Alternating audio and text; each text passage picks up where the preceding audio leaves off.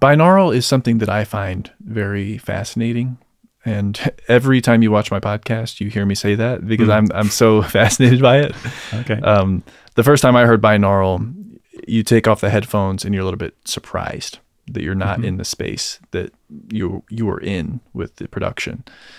That's one of the more fascinating technologies that I see for the future. What are some of the technologies that have only arrived over the last 10 or 5 years that you're now using and maybe what are some future technologies that you're looking forward to? Okay. Um, so certainly formats like Dolby Atmos and and uh, MPEG H they are bringing like object-based audio to the mainstream. You could definitely say Explain what that is for those who are not familiar. object-based. Mhm. Um, okay. So um, for me, it's so natural that it's hard to explain even because um, I'm always thinking and working on objects, and I think everyone actually does that in a DAW. If you have a track, you have an object. So, and if you position that in your stereo space, you could also talk about doing object-based audio. But then the difference is that when you play it out later, the print master that you deliver, it carries kind of if you think back to that stereo production, it would carry the stems and even multi-tracks in it with the panning information.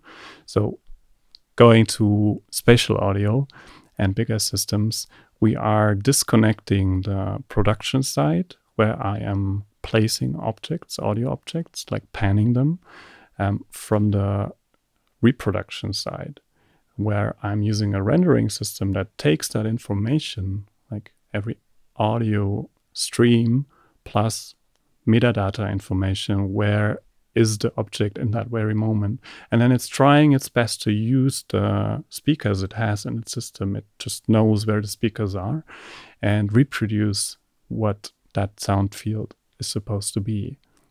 And um, that is different to channel based because in channel based we would play out a rendered sound for each speaker. So when we have stereo, we do that. We have a stereo bus, and this is just one stereo file we are delivering. And when we do 5.1 surround, we do the same. We deliver for each speaker in that system, and then we we can add height to it, and we even have like 5.14. We have four layers in the height, and we actually can do the same with channel based there uh, but the object based is really just the way we deliver the the, the production. So where a channel base, you're delivering one file for a mono and it's an audio file, or two files Yeah. for stereo and they're both audio files, Exactly. or right Or- or seven point six one point four channels. Exactly. and it's twelve audio files yes, that will be played through those speaker channels. right. In object-based mixing, you're actually delivering an end reproduction file that includes the airplane audio file and then data about where it is in this three-dimensional space. Exactly.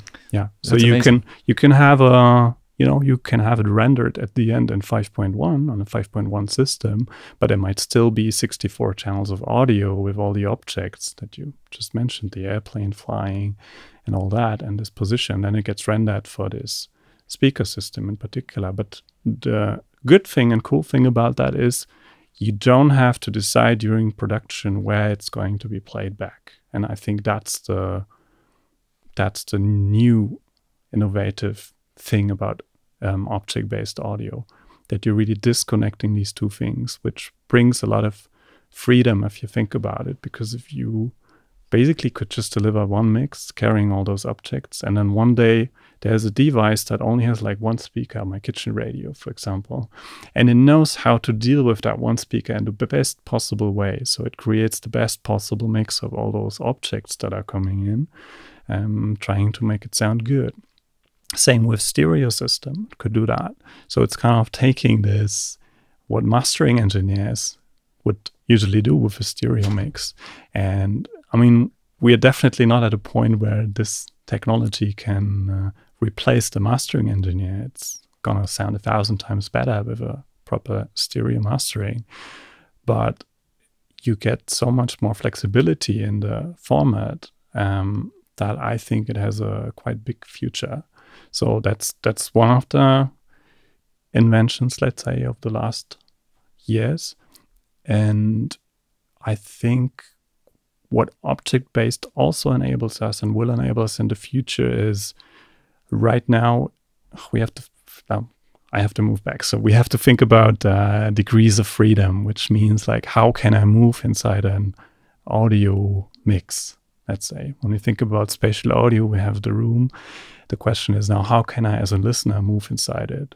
It's pretty easy if you have the speaker set up in the room and you can move inside the room just freely. Then obviously, you we we say we have six degrees of freedom. We can walk in three directions, like you know, up and down, left, right, front, rear, and we can also rotate our head, which is another three degrees of freedom for rotation.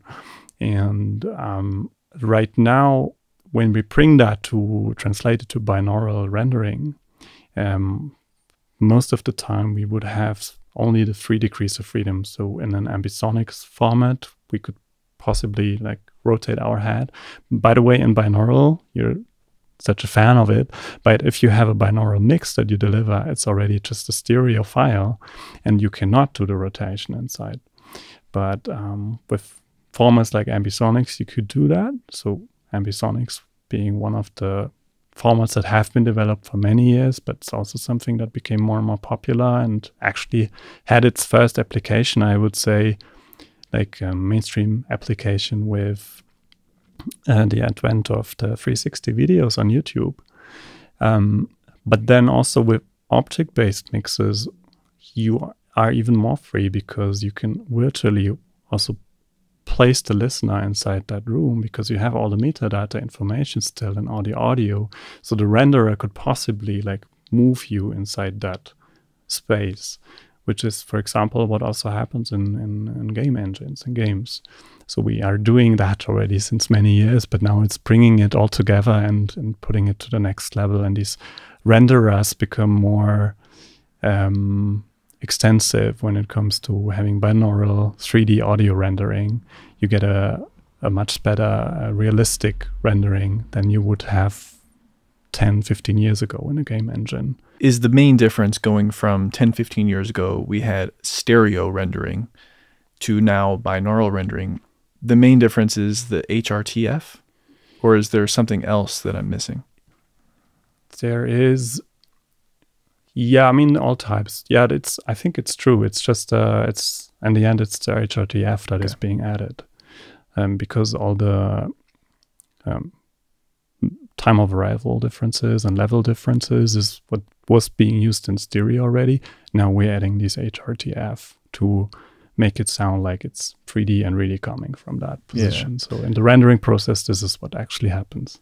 Cool. So yeah, mm. the the time of arrival, the level differences between each ears, that's a part of stereo that we've been using for a long time. Right. And now we're getting into this HRTF head related transfer function where we're taking into account the acoustical characteristics of our outer ears and our skull. And that's making it even more immersive. Of course, there is one limitation that everyone has different shaped have differently shaped ears and differently shaped skulls, but even solutions are being made, being made for those as well. Yeah. I think there has also been uh, research, recent research that's saying that possibly like the individual HRTF is maybe not the most important thing to have because you can train your brain to having a new set of HRTFs and uh, your brain gets used to that and then you start, you know, hearing better with that. But I'm, I'm not so much in that research. So maybe it has already, you know, something new of results there. So the main limitation right now would be that yes, you can put on headphones or have an immersive audio system and control a character on a screen with a control with a joystick and that position of your character determines what you're hearing. So if there are there's a car crash to the right and an alarm starts going off and you turn your character to the right, well that now gets panned center right ahead of you. Yes. The next step might be can we play with those first 3 degrees of uh, ro- of movement with the joystick but then control the other three degrees of rotation of our head with our head? Can we track the person's head so that if your character is looking straight and then you, the player, look over to the right, yeah. your soundscape. yeah you need that um, head tracking for everything where you're rendering in binaural. So um, i think yes this is something it was focused on the screen that had you you had in front of you back then and now you could actually focus it on your point of view. And so this is very important for virtual reality because there you can actually change your viewing angle and see like differently whilst before you would change your viewing angle only on the screen in front of you. So the panning would also move with that and it would know the position due to your um, mouse movements or your keyboard movements. But now it's it's becoming more realistic and natural because you are taking on the VR glasses and then your head rotation defines like what you are seeing. And that is something we need to take into account when we do the binaural rendering yes i think technology wise when it comes to binaural rendering it could have been the same let's say if you have a 2d screen in front of you you could take that information and the angle that you're looking at and just do the binaural rendering based on that. So it could have been done before. Maybe it was done before even. I'm not familiar with games that had binaural. But I think what I, what I wanted to say is what's the new thing with object based audio in terms of becoming a mainstream and not maybe only for games um, is that it opens up these new possibilities also for other applications. So you could think about kind of sound installation that you can walk through and you the you know the listener is being tracked and gets his individual binaural mix on the headphones due to his location in the room and in his viewing angle something like that i mean i couldn't name like the proper application yet but that's the beauty of it because um you know it's it's kind of we're in the field of experimentation at the moment and uh, phase i mean and uh, we possibly will see new new ideas and things popping up and it's very very interesting field